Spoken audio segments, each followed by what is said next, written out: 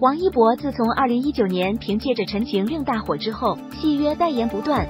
虽然二零二零年上映的两部剧口碑不是很好，但收视率与同期低电视剧比起来还是很不错的。剧还未结束，他便马上进入《风起洛阳》剧组，剧中饰演男二号百里弘毅，与宋轶剧中饰演情侣。如今《风起洛阳》这部戏还未杀青，就传来王一博即将出演新电影的消息。对于演员来说，都想进入电影圈发展。若是从出道前后以及接拍电影的资历来看，王一博明显是新人，而黄景瑜则是名副其实的前辈。若是两人合作电影一番，应该是黄景瑜，而且能够戏约不断，足以看出黄景瑜背后的人脉特别强。可却有博主爆料称，王一博争夺这部剧的男主，也就是他想当这部剧的男一号。若是男一号，万一这部电影反响好，则可以顺利拿到主角奖，相对比配角更有含金量。但这位博主爆料，虽然王一博竭力争取一番男主，甚至动用了不少人脉，可惜依然没有成功。主要原因是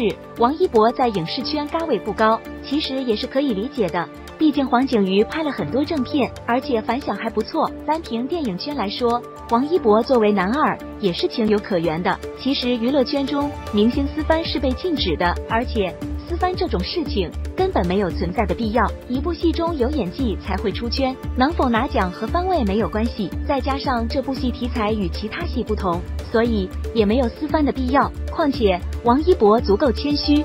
即便之前《风起洛阳》曾传出私翻，但从放出花絮来看，他和其他演员相处不错，这也是力破私翻不合传闻。所以，只要让观众看到自己的实力，番位是没有关系的。